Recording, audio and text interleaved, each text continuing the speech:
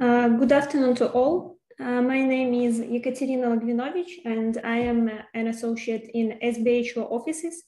And I specialize primarily in uh, corporate law and investment support from uh, business angels and venture capital investments to transnational M&A transactions.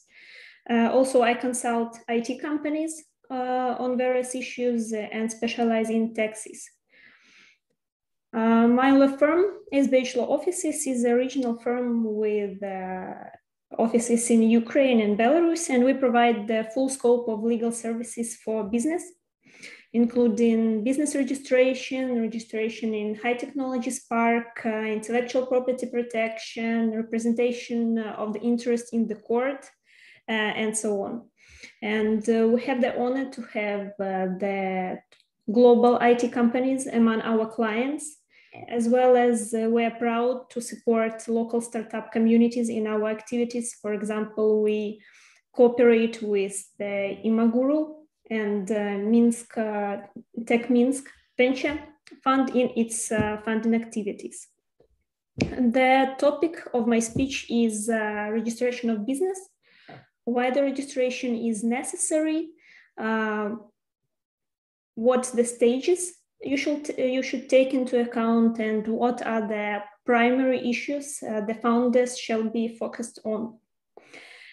And turning to the first issue, uh, which is the reasons why uh, the registration is necessary. Uh, the first uh, moment is that uh, registration is about your legal safety. So what what we mean under registration of business is to register a company, to maintain your business, to sell your products, to employ your employees and to pay taxes. So under legislation of any country, if you gain money from your activity, this is business and thus it's need to be registered and comply with the legal regulations. Uh, certainly, if you have an, an idea which you develop and a team for, uh, which consists of a few persons which are inspired to develop your product. There is no need to register a company at the moment, but the company shall be registered by the moment when you receive your first money. Uh, and because you receive money, it's business, and since it's business, it shall be registered. So primarily the registration is about safety and safety of all the persons which are involved in the activities of your company. So these are firstly founders, secondly, your team, including developers, maybe market analysts, and so on, your future investors, and business in general. Uh, as concerning the founders, uh, there are three core interests which are protected by the business registration. And the first is compliance with law. Uh, if you receive some income without any official source, uh, the tax authorities usually have the questions: what is what is this income, and what is the source of your money? And if you will not have any lawful basis to receive this money, uh, you can be found in violation of the laws. You can be imposed with some fines from tax authorities. So this is the question of your personal financial safety as well as your clear history without any economic crimes and violations. Uh, second, registration of business is the way to formalize and to fix your contribution to business.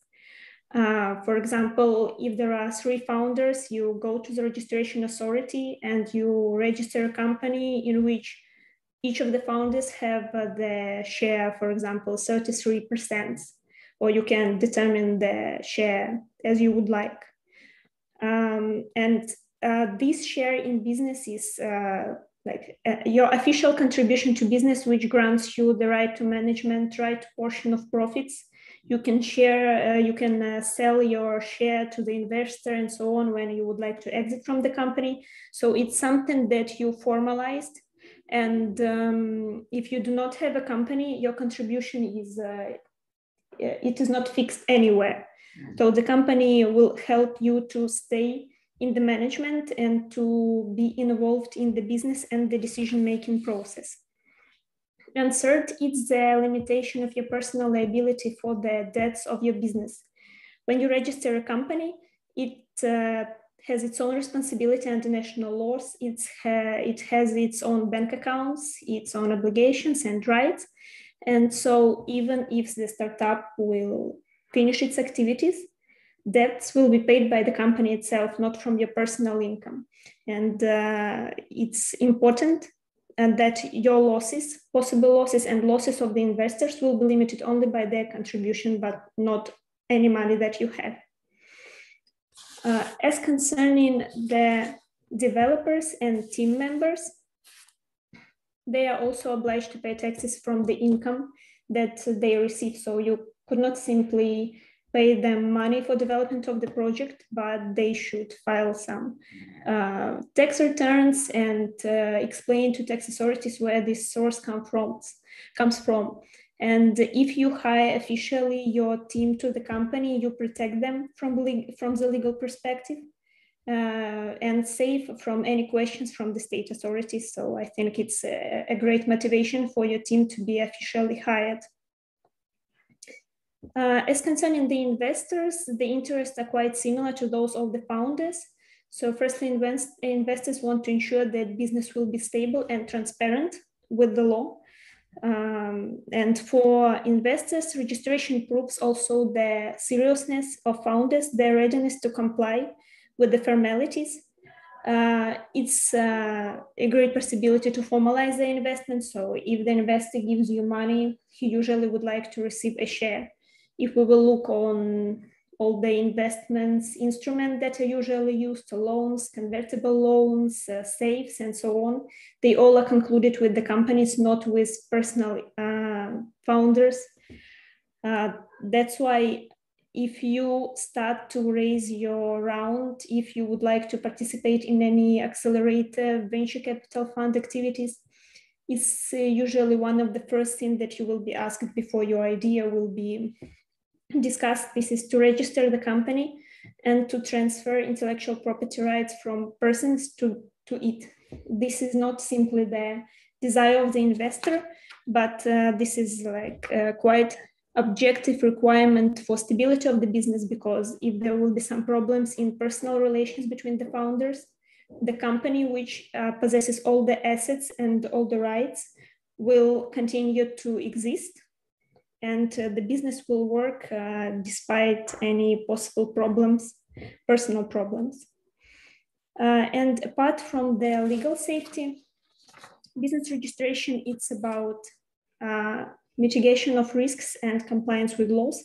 So uh, if you act transparently, the risk to lose money is lower and about your business reputation because the presence of registration will show to your partners, investors, clients that you create a real existing business that is regulated under the laws that they can rely on you uh, and um, simply that you're a transparent, uh, good counter agent to enter into relations with.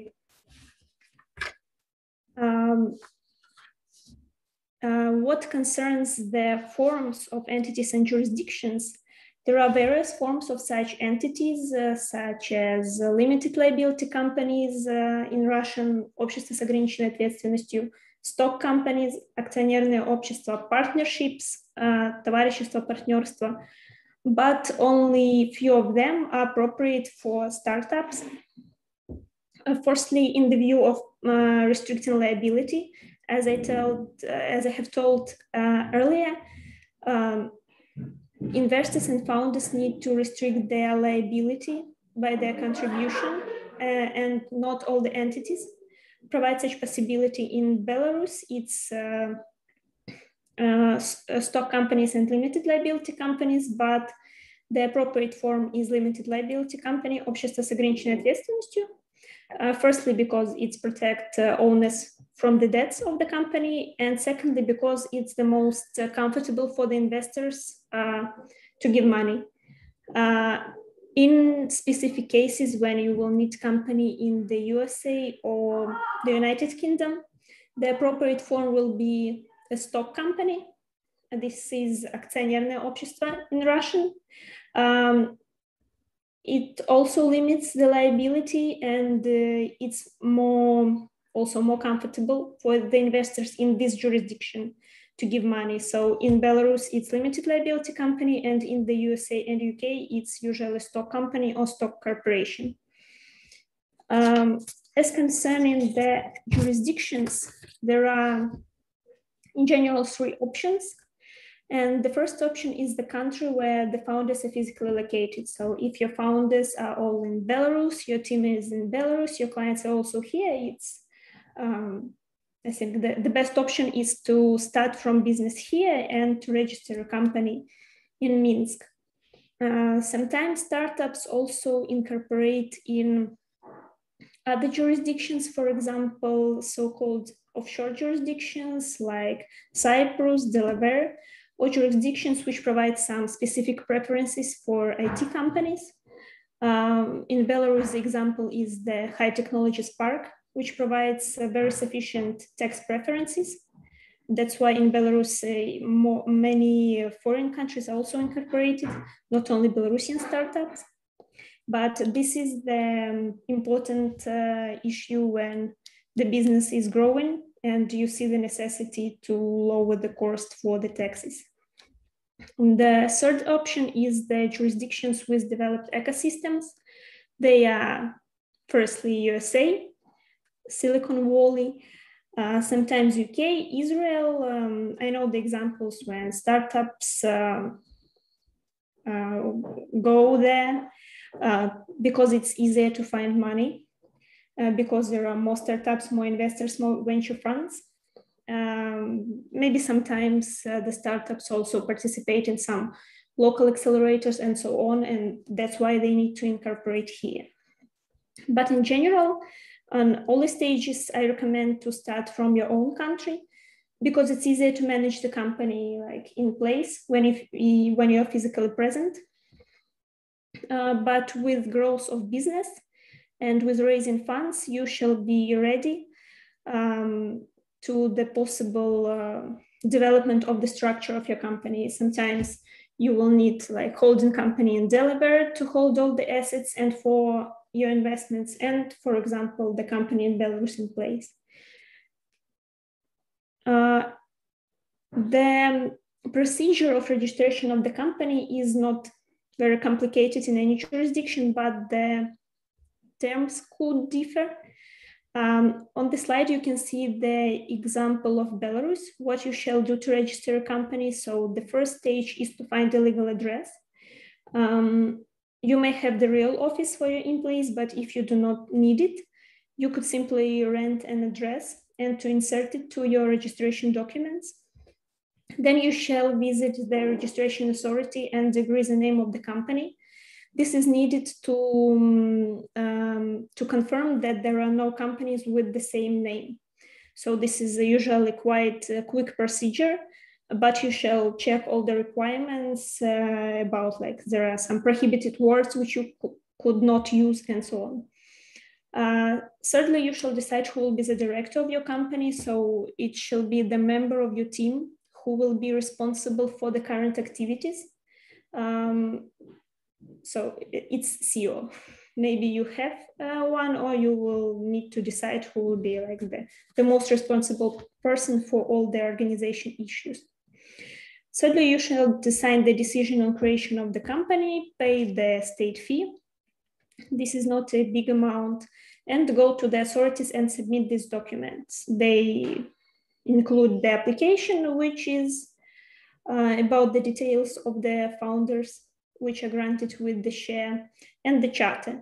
The charter is usually a standard corporate document which um, regulates the management within the company and some basic um, basic provisions of uh, its activities. And a few days later, you will receive automatically issued certificates of uh, registration in other authorities, such as tax authorities, statistics authorities, and then you can register your bank account. So um, the procedure is quite uh, simple. It um, is similar in other jurisdictions, but there can be differences. For example, uh, we know the ways when the company in Delaware could be registered even more quickly than in Belarus because it could be registered remotely by simply um, fill in the questionnaire and that's all. So this is what shall be checked with uh, each the jurisdiction. But in Belarus, it will take for about one or two weeks to start your activities the, as the company. Uh, about the corporate management, there are uh, three obligatory management bodies that shall be in any event in your company. So firstly is general meeting of the shareholders. These are all the persons which are granted the share in the statutory fund. Uh, at the first stage, uh, these persons are simply the founders, but with the development of business, the shareholders could be investors, advisors, employees, which are granted the share, and that's all. Um, the general meeting decide the most fundamental issues. Uh, for example, it holds the annual meeting, approves accounting statement, distributes profits of the company to the shareholder, and uh, usually elects other corporate bodies. The director or CEO, as I have mentioned, performs all current activities. So it signs the contract, it manages money, it represents all your interests without any power of attorney so it should be a person whom you really rely because uh, his powers under our legislation are quite wide and in many relations they could not be limited. So he has absolute power to represent your company anywhere uh, and this is uh, what shall be taken into account. The third official is the auditor or revisor in russian. This is a person who checks the financial activities and documents this is quite a formal figure. So usually he looks through the documents before the annual meeting and drafts a short um, report that the activities are okay with the law. But this is a person who shall be appointed like a formal requirement under the legislation. Um, another um, management body is board of directors. I have written that this is optional. On the first stages, you will not need this organ, but with the investment to the company, uh, some investors which provide uh, sufficient sums could um, ask you to form this organ and uh, where the investors will be also represented. And this organ will um, execute supervisory authority, so it determines the strategy of the company, maybe approves the largest transactions, but it, it, it is not involved in the current activities as a director, so only on the most important, uh, on the most important issues. Uh, apart from the registration, what is very important from my point of view is also your further actions, because um, it's not enough simply to register a company the company shall be transparent and its corporate history shall be understandable for the investors because this is what they will check during all your rounds. They will look through the documents and ask you questions why this decision is made in such form, uh, why the shares distribution is like that. Uh, so this is very important to to avoid mistakes from the very beginning of the registration, to make your corporate structure reasonable, um, to lower cost, costs further, and not to waste your time before the investment round. So we know, for example, the practice when the startup create the company in, in proper form, for example, in the USA in the form of limited liability company, which is very uncomfortable for investors and they were simply to close this company and register another one. So if they had uh, a proper uh, form initially, they will not lose time before they will receive this money. Um, so after the registration, uh, you shall check the following important moments. First, it's proper making of corporate decision. So these rules are written in your charter and you shall comply with it. Uh, it concerns the quorum, the compliance with the rights of the shareholders, receiving approvals from um, the management bodies if they're necessary. Secondly, it's the conclusion of contract with the clients and all the cash flows under, uh, under them. So I, I think it's like the initial aim of registering a company. So you like make a uniform approach to all your cash flows. And your clients shall know that you have this one entity and all the transactions are made from them. So you will know, you will not have some third sources of income. All the sources will be in one entity. Uh, thirdly, it's formalizing the relationship between the company and all its employees, uh, especially its key developers. Uh, my colleague Anna will um, tell you about this in detail, but this is not simply to hire a person, but to also include confidentiality clauses, transfer of intellectual property rights, and the regular payment of salaries, because all of these um, possible risks for the investor of inconsistency with the laws. Uh, fourthly, it's transfer of intellectual property from the founders and developers to the company, because if the company doesn't have intellectual property in uh, its ownership, uh, there is a risk that you can uh, lose all your business because one of the developers simply registers it or uses for its own idea. So if we speak about IT startups, uh, it's the uh, core protection of business is to check your intellectual property and to transfer all from persons to the company. Um, the two issues which remain is the payment of taxes. Uh, they are paid a few times within a year, so you shall check the dates. Uh, it's better to have the accountant to avoid uh, fines to, and to avoid problems with the state organs. And for this purpose, you shall also reflect all your operations in your accounting statements. So to sum up, uh, the company shall be registered, but it could uh, be done, it shall not be done immediately. Uh, the company will be needed uh, when your first money uh, will be gained the appropriate form for Belarus is limited liability company because it's limit the liability of the founders and it also uh, is comfortable for investors. Um, I recommend to start from the jurisdiction where the team is physically located, founders team and supposedly the clients, but you shall be ready that with the investments rounds and the growth of the business, your structure could become more complicated and involve other jurisdictions uh, uh, to save the investments and maybe to extend your business to other markets.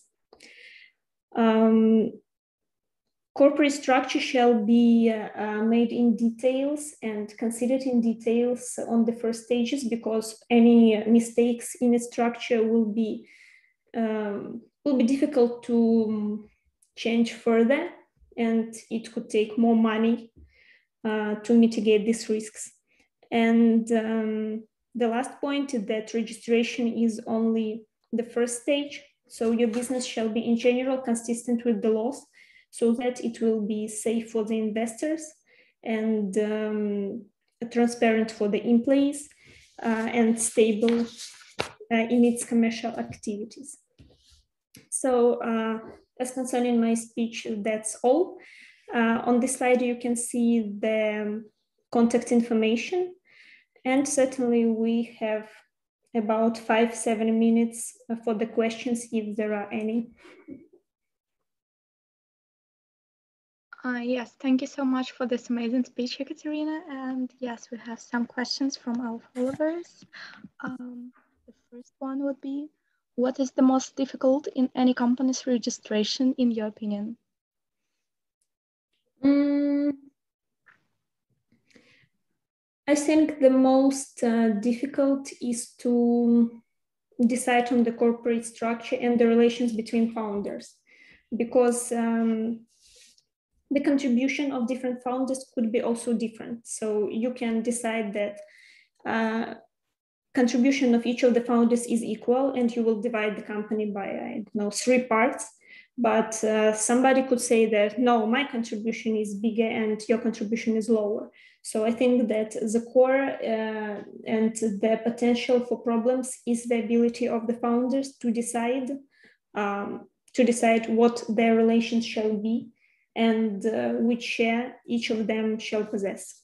And uh, in other part, I do not see the problems in the registration procedure because this is quite a formal action. So the documents are usually standard, the procedure is not very difficult. So um, yes, I, I do not see any problems apart from this agreement between the founders. Okay, thank you so much. Uh, the second question is, when isn't it worth registering a company? Um, could you please repeat because I did not hear? Yes, uh, when isn't it worth registering a company? So uh, as I understand, this means that whether there are situations when the company is not needed. I uh, guess so, yes. Um, it's not needed when uh, you do not receive money. It could take quite a long time. So if you're developing your idea, if you're simply working, uh, trying to find clients, um, there is no need for a company. Uh, but when uh, the issue of money arises, company will be needed. I do not know situations when startups could uh, grow without a company. So it's very strange situation when the startup acts like individual entrepreneur or separate individuals you will face the situation when for your further growth and for attracting investors you will need to incorporate so i think this is the obligatory stage for all the startups but um, the um, certain moment depends on your on the speed of development of your business and on the moment of monetization of your product. Okay, thank you. And the next question is, how often do you need to confirm startup registration? Mm, uh, we have regular um, moments with startup registration. So it's like a standard legal service of our company.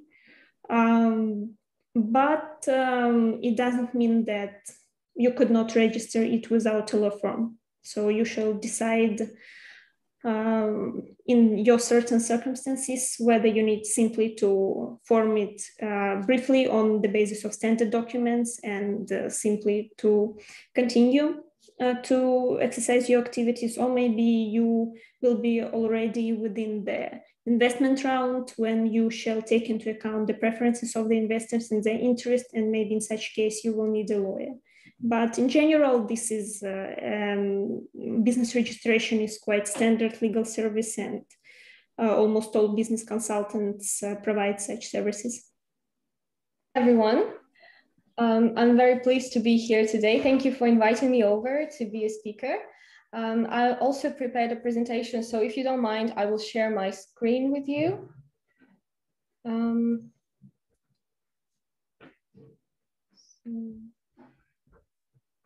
I hope you can see it. Yes. Great. Okay, now um, by way of introduction, um, my name is Anna Soltanovic. I'm an associate at SBH Law Offices in Minsk. Um, I specialize in foreign economic activity in labor law and in personal data mostly, and also in general contracting law. So my colleague, uh, Ekaterina Lagvinovich already gave her presentation on certain corporate and regulatory aspects of starting a company. And um, I want to talk to you today about the basics of Belarusian employment law. And here I need to say that um, it is impossible to cover all aspects of employment law because it's a very complex and broad range of law. Um, however, I will try to give you a basic understanding of how employment law works in Belarus and to give you just a very, very general overview of some basic aspects. And I hope it will not be super boring for you. Um, maybe it doesn't sound as exciting as previous topics that were covered, but uh, please bear in mind that if you decide to start a company, uh, knowing and being aware of certain legal aspects beforehand will help you to avoid a lot of problems in future, I mean legal problems. So I hope my presentation will help you to understand the, the most important things you need to know if you're deciding to start a company in Belarus. So today we will discuss several key topics about employment law. Firstly, I will talk about the basics of employment law, uh, the distinction between employees and, um, and independent contractors. Um, secondly, I will talk about the employment agreement, the main uh, document in employment relations between the company and the employees. Also, I will talk about the remuneration of the employees, meaning about the salary and how to pay it and how much to pay your employees. And uh, lastly, I will cover a very uh, popular topic nowadays, which is remote work and how it is different from uh, the normal office work that we are used to. So let's start first with some basics of employment law and um, the distinction between employees and independent contractors. Um, when starting a company, let's say as a founder, you need to find people who will actually do the work and make your company gain profit. And here you will eventually face the, uh, the need to make a choice between employees and independent contractors. And before going further into the employment law, um, I, um, I would like to draw the line between the employees and independent contractors because at some point your company will most likely need both of them. So firstly, employees are people who are hired by a company to provide labor for a long-term period and they work under employment agreements. They receive a specific type of remuneration that is called salary, and they enjoy special benefits and protections that are granted to them by the legislation. Um, and on a side note, I wanted to, to draw your attention to the fact that it is very important to understand that the labor law um, in most countries, I think in all countries, not only in Belarus, uh, is aimed main, mainly at protecting the employee's interest in the first place. Um, because the employee is seen in this relationship as a weaker party. So this is particularly seen when dealing with employment disputes, for example, where the court in most cases rules um, any discrepancies or any inconsistencies in the favor of the employee. So this is one of the most important principles of employment law, of labor law. And uh, the reason why I'm telling you this now is because um, any decision made by the employer has to be very carefully evaluated prior um, from the perspective if it complies with the law and if it complies with the employer's interest, because it will help to avoid potential disputes in future. Um, so now continuing with the distinction, relationship between the employer and the employee is categorized as employment relationship, uh, relationship and it is governed mainly by the labor code. So this is the main legal act in the sphere of employment law. And if you need to check any um, how this or that issue is regulated in law uh, when you are dealing with employment, you need to go check the labor code first. And on the contrary, an independent contractor is a person who performs works or renders services independently. And uh, this person is not engaging into any employment relations. And from the legal perspective, the independent contractor and the client, they are equal parties to a commercial relationship. So um, the work is provided by this person under a civil contract, and thus the, this relationship is governed by civil legislation, namely the Civil Code of the Republic of Belarus and other uh, related acts. Um, so if you need people who are working for you on daily basis, it's better to hire them as employees. And further, I will explain how to do this. Um, if your company needs certain services or works rendered um, on a one-off basis, uh, maybe once or twice. For example, let's say if you need to develop a logo for your company and um, it's only work that you need to, to get done. Um, and further, you don't need to, to keep um, a graphic designer as your employee. Then you can just um, hire an independent contractor. You can um, uh, you, you can offer this person to, to develop a logo for your company for a certain amount of remuneration. You can conclude a civil contract. When the work is done, you will terminate the contract and this is how your relationship ends with this person. Um, and on the contrary, if you employ a person, if you hire a person, this is a long-term relationship normally and uh, they're regulated by special labor legislation. Um, so I hope this is clear. And uh, now I also wanted to say that legally there are no requirements on how many people a company should employ but um, well there, there can be one or two person employed in a company but in reality you will most likely need more people so first of all you will need a director uh, well management someone from the management a person who will represent your company um, and who will act on behalf of your company it can be a ceo or a managing director whatever you like uh, secondly, you will most likely need a chief accountant. Uh, it is an obligation of every company to, um, to do the accounting.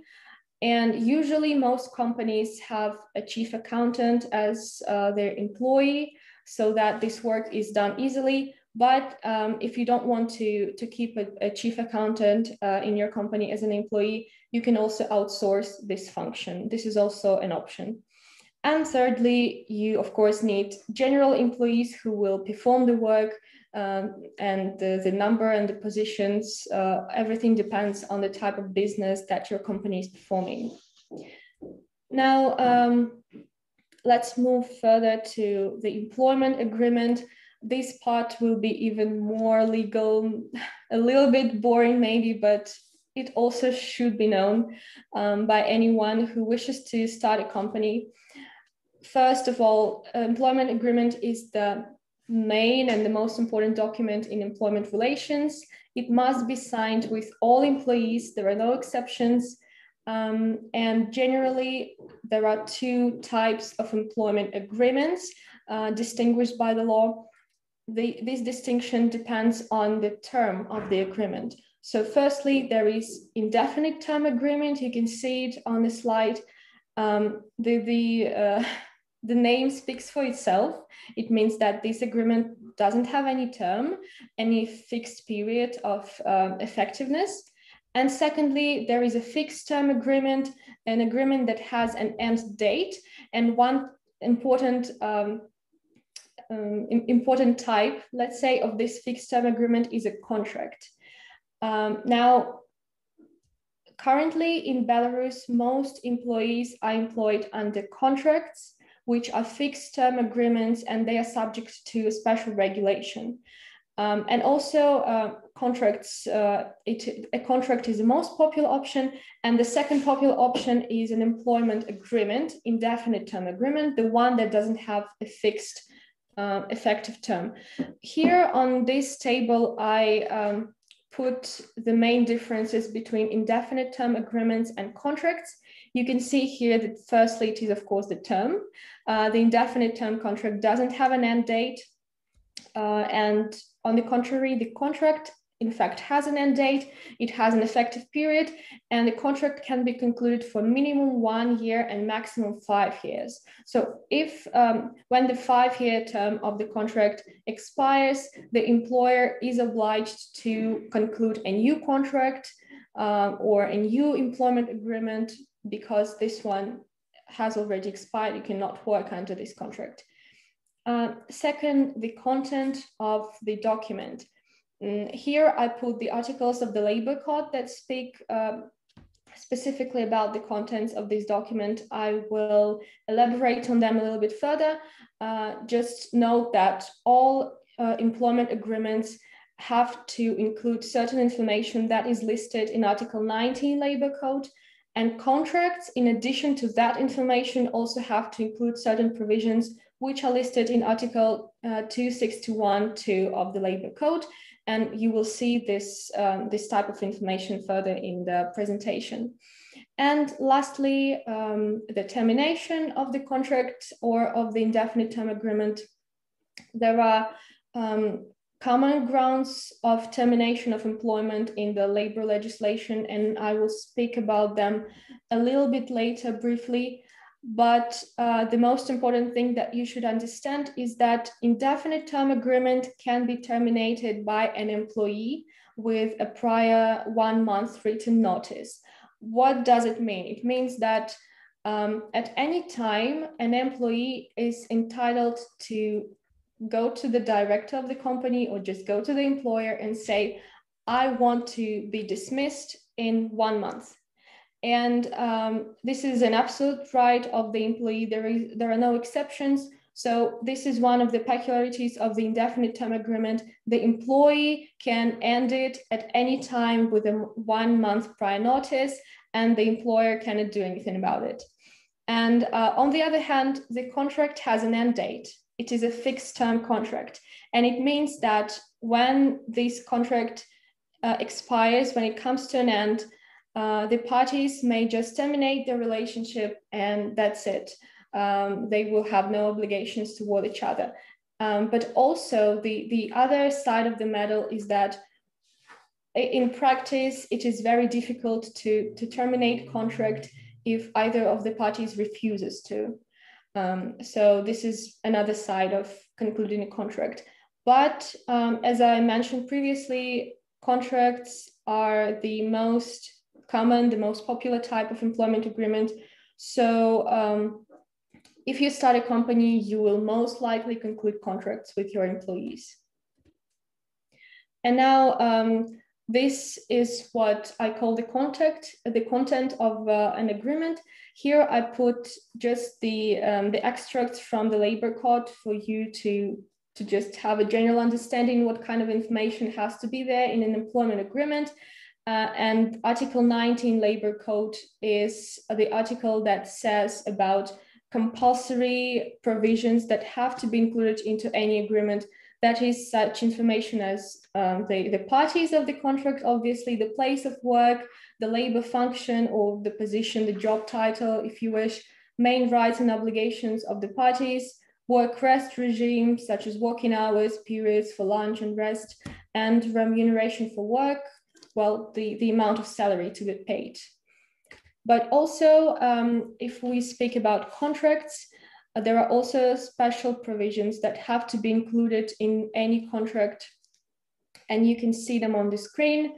Um, well, this is very, very legal language, uh, but it's just something that you also need to, to always keep in mind if you conclude a contract with an employee. There are certain provisions that have to be there no matter what, such as days and frequency of the salary payment, um, obligation to notify each other about your wish to continue or to terminate the employment, and other provisions which you may see on the screen. And due to the lack of time, I will not be further elaborating about them, but uh, it has to be taken into account.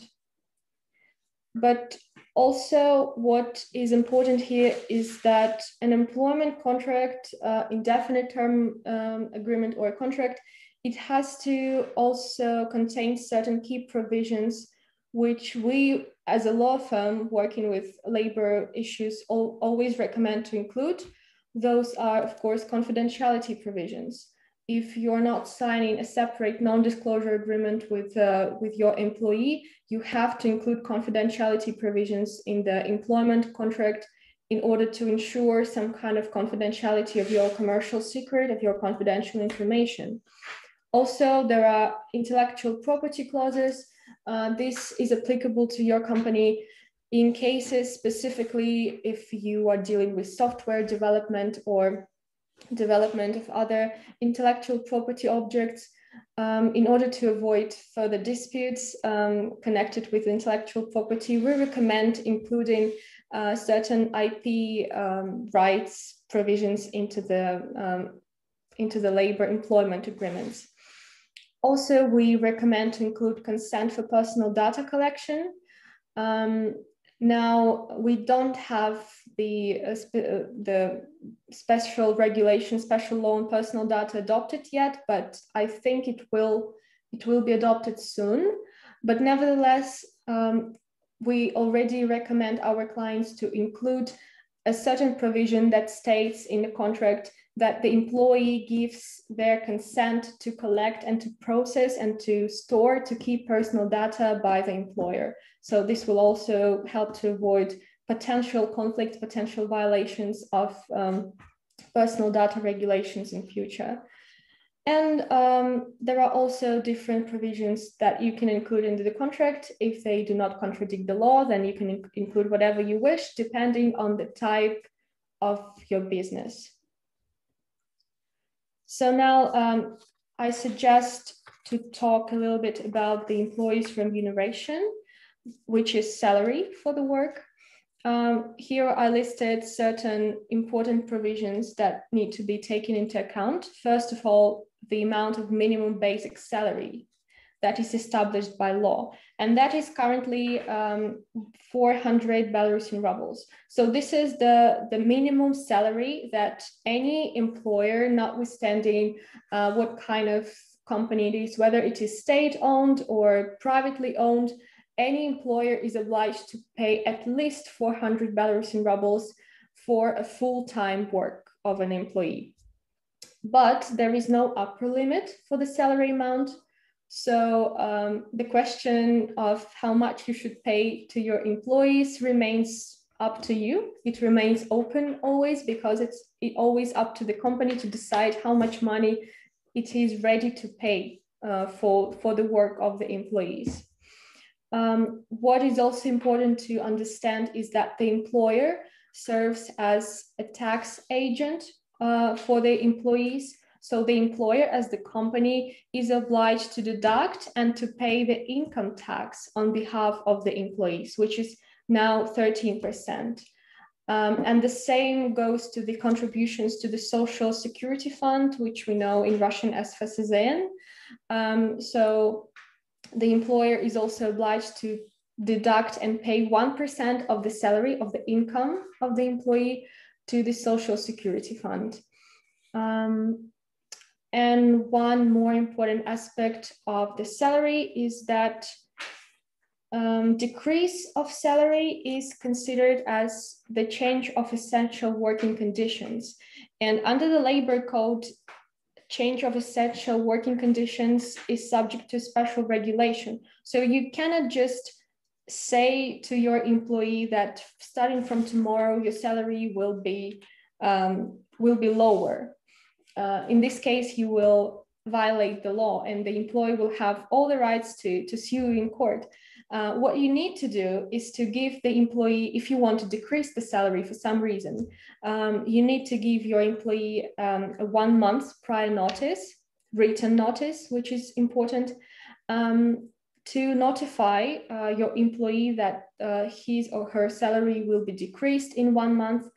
And um, in case the employee refuses to work under this changed essential working condition, then you as the employer will have the right to dismiss this employee. You will have the right to fire this employee um, based on such ground as refusal to work under this changed essential working conditions. Um, well, about the salary, I think this is all that I had to say. And now we are coming to the last part, um, which is office work versus remote work. It is now very popular to, uh, well, let's say popular, to transfer employees to remote work, which means that they work not from the office, but from, from home or from any preferred place. Uh, we all know the reason for this. This is the pandemic and the need to adjust to current conditions where um, the employees sometimes get sick. Uh, the employees have to stay isolated. In some countries, it is even um, compulsory um, and it is regulated by the law. In Belarus, it is less strict, but we still have some regulations and we have some recommendations from the authorities that sick people are not allowed to enter the office, they're not allowed to contact with anyone. So in this case, we also had recent introductions into the labor code uh, that became effective in January last year. Um, this is the introduction of so-called remote work. So what, what does it mean? It means that now it is legally permissible for um, the employee to perform the work remotely um, and not from the employer's office, which is usually the case. Um, so the main differences between work uh, from office and remote work is that um, in the office, the work is carried out in ordinary manner usually at the employ employer's premises. And um, when we are talking about remote work, then the work itself and the communication with the employer is carried out remotely by the means of information technologies such as the internet, of course, uh, email, telephone, messengers, different websites, platforms, anything that can be handy for, for the parties to communicate and to exchange information between them. Second important distinction is that um, during the remote work, the employee does not have a workplace. The employee is free to decide where to work, from which place to work. Uh, so um, the employee is not obliged to come to the office every day. The employee is not obliged to come to the office at all in this case. And um, lastly, the communication with the employer when we're dealing with the remote work is done in a certain manner um, via internet, as I already mentioned, via email or by exchange of paper documents by post. It is also one of the um, one of the ways to communicate with each other. But what has to be underlined here? Um, one of the very useful aspects of remote work is that you can exchange documents, tasks, um, and basically any information remotely. But when it comes to actually signing the contract for remote work, this has to be done in the employee's presence. So if you decide to transfer your employee to, uh, to remote work, you shall first uh, sign the contract physically, being present at, in the same room, let's say. And after that, you, uh, as an employee, you are free to, to perform your work anywhere. Um, also, the employer may provide the employee with the equipment and the software needed to perform the work. Um, and uh, on the other hand, the employee may perform work using their own equipment, their own computers, laptops, whatever. Um, it everything is decided between the parties. So here the parties have um, actually a very broad range of uh, of ways and rights how to how to organize this work uh, if it does not contradict the law, of course, and if it does not violate the employee's interests. Um, so I think my time has run up now, and maybe I have some minutes for questions. Um, I hope this information was useful for you, and I'm ready to answer any any questions or any comments. Yes, thank you so much for this amazing speech, Anna. And there are some questions. Um, the first one is in Russian. Нужно ли уплачивать налоги государству, работаю, работая во фрилансе на самого себя? Угу.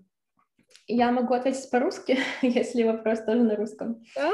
Uh, смотрите, работая на самого себя, это uh, да, это, это работа, получается, человек работает как, ну, либо просто как физическое лицо, а, либо как индивидуальный предприниматель, и, конечно же, в этом случае тоже нужно уплачивать налог. А, это будет подоходный налог 100% с физического лица, потому что все физлица уплачивают подоходный налог 13%. Просто единственное э, тут различие в том, что если вы работаете по трудовому договору, то этот налог за вас уплачивает наниматель, но он все равно уплачивается с ваших же денег, то есть с вашей зарплаты. Если вы работаете сам на себя как фрилансер, то есть у вас нет никакого трудового договора, вы напрямую там получаете деньги от заказчиков, например, да, то тогда вы этот налог обязаны уплачивать сами. Вы сами заполня... заполняете декларацию, подаете в налоговые органы, и тот же самый взнос ФСЗН 1% тоже вы уплачиваете. И подоходный налог, конечно, тоже. Поэтому, да, мой ответ – нужно уплачивать с любых доходов, нужно уплачивать налог. Хорошо, спасибо. Thank you for your answer. Um, the next question, can contract be terminated during the probation period if there is any? Uh, yes, um, there is such ground of termination of the contract as uh, termination due to failure to go through the probation period. And under the law, um, under the labor code, the maximum term of probation period is three months. So um, if your employee is under probation period, then you as the employer may terminate the contract at any day with a prior, if I'm not mistaken, three days notice. Uh, well, I, I may be wrong here, but there should be some notice. Um, or you can terminate the contract at the end of the probation period. So there are two, um, two, two uh, grounds for termination in this case. But yes, it can be terminated during the probation period. This is what the probation period is actually used for, to, to see if you, um, if you can do the job. Okay, thank you so much. And the last but not least question for today, can you tell more about the company you work at, SBH Law Offices? Uh, of course, I will gladly do so. um, well, my company, SBH Law Offices, is um, a company that deals mostly with commercial matters. We, uh, our clients are mostly businesses. We have offices in Minsk and in Kiev in Ukraine. So we uh, deal with court disputes and with various commercial matters such as corporate matters, labor matters, uh, M&A transactions, investments, taxes, um, anything that can be potentially useful for businesses. Um, I personally deal with labor issues and with general contract law, with foreign investments, sometimes with taxes. Um, and my colleague Ekaterina Lagvinovich, who also presented here before me, she deals with investments, with IT law, which is also um, a, a, branch which we work on, um, and with corporate matters. So basically, anything that may be um, that may be needed for a business we can cover it.